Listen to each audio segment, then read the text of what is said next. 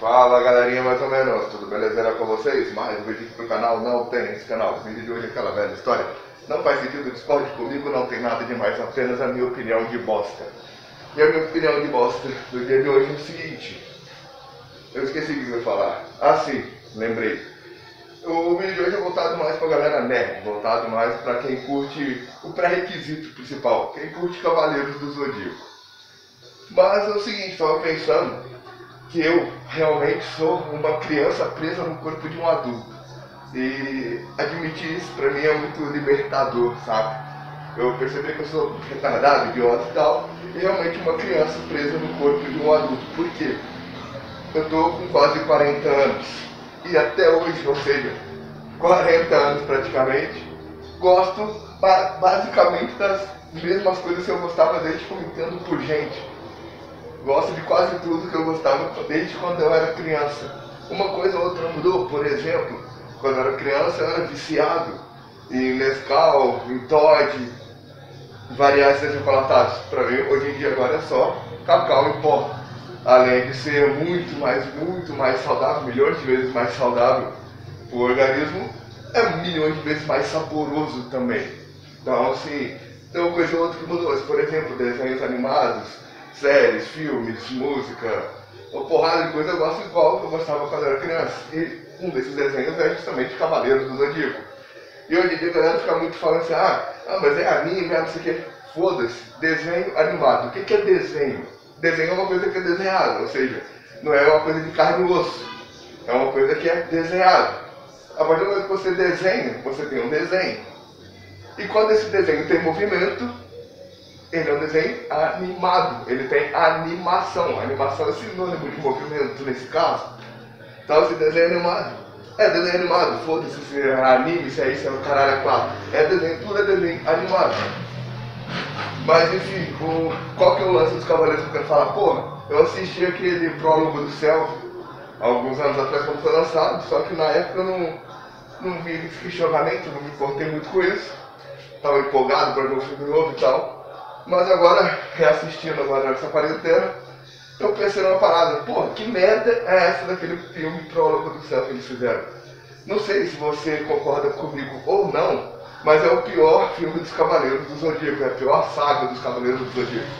Por que eu estou dizendo isso? Porque ela se passa depois do, da saga do Inferno, depois da saga de Hades.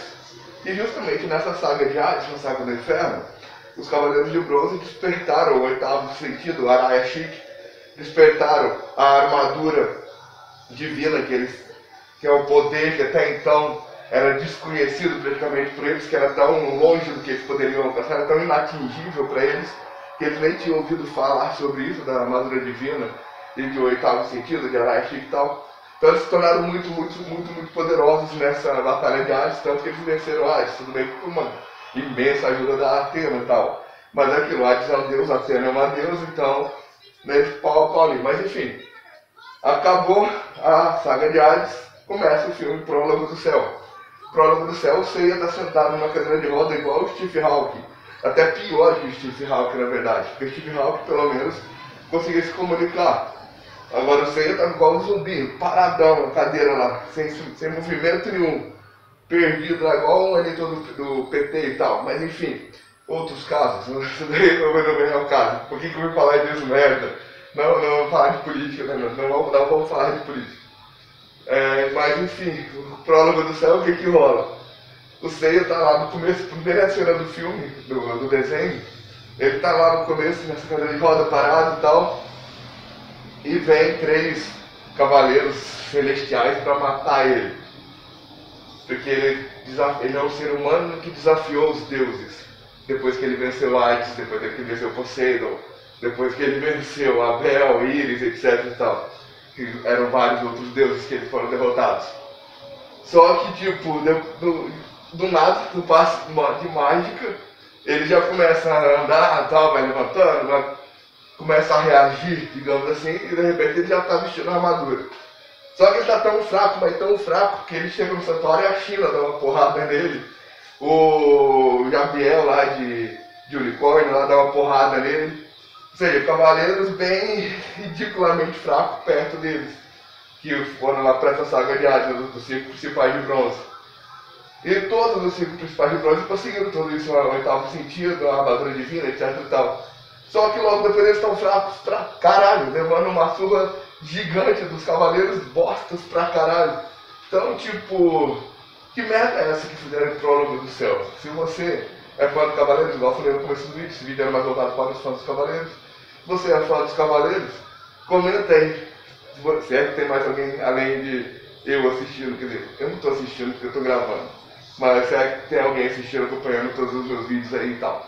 Se você viu esse vídeo é fã dos Cavaleiros, assistiu o prólogo do céu, concorda comigo, discorda, comenta aí, comenta qual é a tua visão sobre o todo. Enfim, se quiser. Se quiser xingar também, vai pra puta que te pariu. Paz pra todos, fui.